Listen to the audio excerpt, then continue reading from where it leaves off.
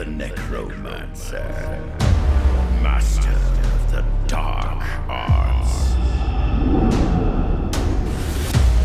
Hear my voice and fear my words, for vile spirits obey my commands, and the dead themselves lend me their power.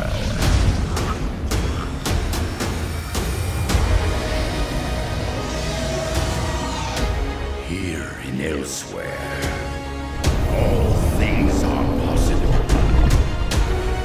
So join us.